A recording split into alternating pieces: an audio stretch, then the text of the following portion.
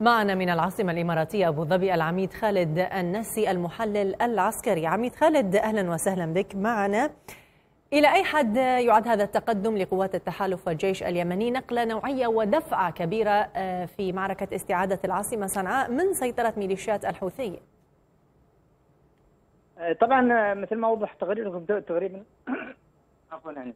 بالنسبة لتقريركم تقريبا إنه تتطرق لكثير من النقاط الهامة فعلا يعني بالنسبة لأرحب هي هي يعني منطقة هي من بداية الأزمة وهي مناهضه للحوثي هذه المنطقة بالذات لا توجد حاضنة بخلاف كثير من مناطق صنعاء لا توجد حاضنة للحوثي في هذه المنطقة. فطول الأزمة وهي مناهضه الحوثي واليوم عنده بالوصول إلى ارحب، ارحب طبعا هي هي في شمال شمال شرق صنعاء وهي يعني منطقة مطله استراتيجيا على كثير من المواقع العسكرية في, في أمانة العاصمة صنعاء، منها القاعدة الجوية، منها مطار صنعاء، منها أيضا هي هي قبيلة من أكبر قبائل الشمال موجودة في هذه المنطقة وهي تمتد قبليا إلى كثير من المحافظات لها امتداد قبلي في عمران في في في حجة في صنعاء. حتى بعض المديريات اللي موجودة في شمال صنعاء مثل مثلا مديرية حمدان هي هي قبليا تمتد لهذه المناطق. وكثير من المناطق حتى التي كانت في يوم من الأيام مناصب الحوثي هي الآن بدأت تتمرد وبدأت تشكي كثير من من من الاستفزازات الحوثي وتوقل الحوثي في في معاناتهم. فبالتالي هذه هذه المنطقة هذه يعني تعتبر خطوة يعني مهمة من طول أزمة لم نوصل إلى هذا المستوى بالنسبة للقرب إلى صنعاء. والسيطرة على مواقع استراتيجية هامة حتى بالإمكان الآن وبكل سهولة نقولها بكل نعم. سهولة إنه بالإمكان الوصول إلى عمران وقطع يعني عزل صنعاء عن عن عن عن صنعاء عن صعدها يعني إذا استثمر هذا الاستثمار الصح بخلاف الانتصارات السابقة التي نحقق نصر ولكن نبقى مستمرين على هذا النصر شهر شهرين وثلاثة وستة من غير ان نستغل هذه النصره فالنصر طيب. اذا استثمرتها توصل إلى نصر آخر عميد خالد ما الذي سرع من تقدم الجيش اليمني وقوات التحالف؟ ونحن الآن نتحدث عن وصولهم إلى مشارف العاصمة. هل هو آه، تكتيك جديد اتبعوه مثلا أم بسبب تراجع أداء الحوثيين نتيجة تكرار هزائمهم أم ماذا؟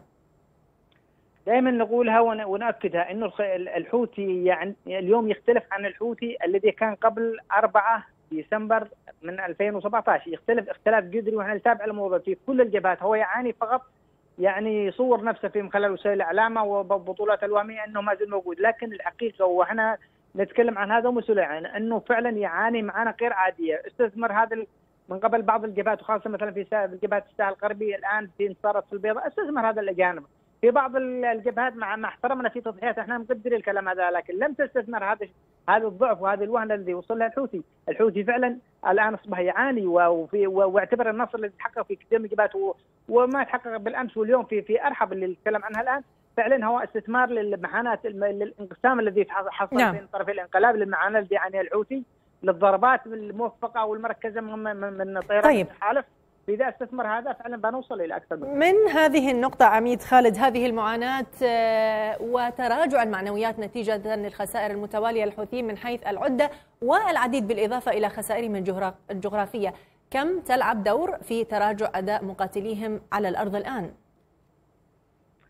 فعلا نحن لو نتابع يعني مش من اليوم من الحوثي من من تقريبا قريب سنة أو أو 8 أو 10 اشهر نتابع ونحلل الذي أن الحوث كل المناطق والمعسكرات والخطوط والاستراتيجيه اللي كانت بالنسبة للاستراتيجيه اللي فقدها لم يستطيع أن يعوضها أو أو أن يعود لهذه المناطق، كان في بداية الأزمة المعارك كر وفر يعني يخسر منطقة وعاد لها ولكن من, من تقريبا من قريب سنة لم يعد قادر على انه يسترد أي موقع مهما كان أهميته بالنسبة له انه يسترد هذا الموقع وبالتالي هذا يدل دلاله واضحه أنه لم يعد حتى قادر أن يحافظ على الموجود الذي لديه. وإحنا نكررها دائما إحنا مقدرين كل التحفيات في كل الجبهات لكن بعض الجبهات يجب تستثمر المعاناة اللي عن الحوثي تستثمر الانتصارات اللي تحقق في في مناطق أخرى تستثمر الدعم اللامحدود من قبل التحالف سواء بالضربات الجو سواء الدعم على الأرض أو الدعم اللوجستي المطلق. يجب ان نستثمر هذا كله والحوثي أصبح أضعف من أي فترة مضت وهذا لا نقول من باب البالغة ولكن الحقيقة والواقع يقول هكذا.